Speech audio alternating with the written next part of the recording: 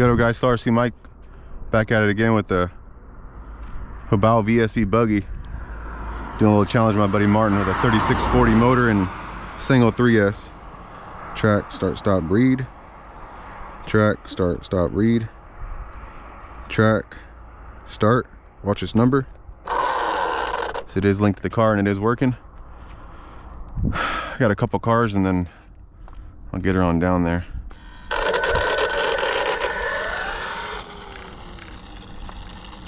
I could drive on the shoulder down there, guys, but the shoulder is so dirty and so full of rocks and all debris and dirt, so it just picks all the tires, pick it all up. So just wait for the traffic to go and we'll get her on down there.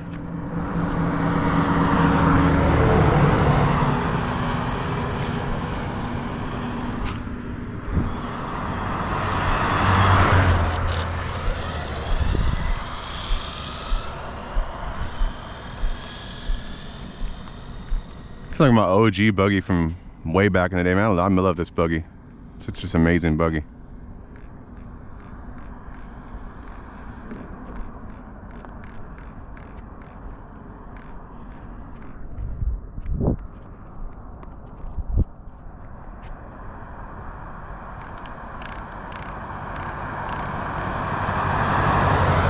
Got to turn around, wait for this guy to get a little farther down there.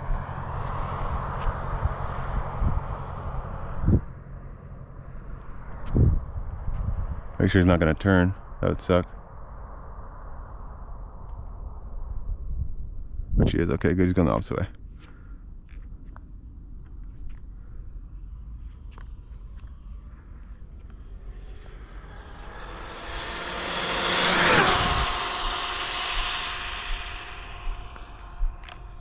I don't think I touched the steering probably one time on that pass. Right now I did at the end, hitting the brakes just to keep it straight. But damn, this thing is freaking dialed in.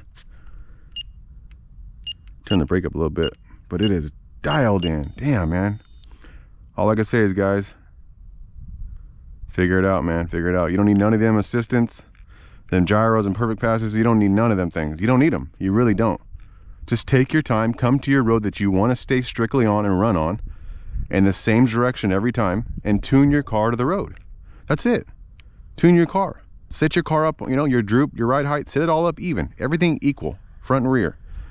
Left to right. Set up everything equal and then come out and make adjustments to the toe and the camber in order to get your car to drive laser straight. That's all you got to do, guys. Here, I'll show you before I unplug or touch anything.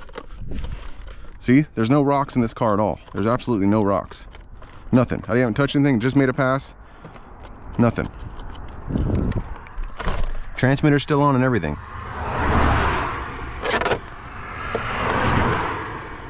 I've never, I've been doing this for a while. Not as long as most, but I've been doing it for a while. And I've never even owned a gyro out all these years. I've never even done it. I'm, I'm, to be honest with you, I'm scared of them. I really am scared of them. I don't want some electrical device controlling my steering. And when it fails, you know, I'm pissed. I'd rather it be me failing it. Me causing the issue. 104, guys. 104. Oh, I did my temp gun.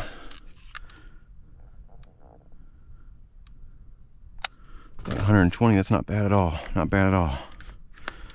But, uh, get this stuff turned off for you guys. I need to make one adjustment. Here we go. Break this down for you guys. As you can see the wires. See the leads. See it is a single pack. And this is a real deal single pack. So this is a 3S 1P. All these guys that, you know, no disrespect to anybody, but all these guys that are running these, you know, so-called single packs, you know, from a certain manufacturer, they're not technically single packs. You know, that's where that 2P and that 3P comes into play. Just think about that, guys. But anyways, God bless, peace out. 104, 3640, motor, XLX. single pack 3S 1P. Bow VSE buggy. Peace out. God bless. Definitely more to come.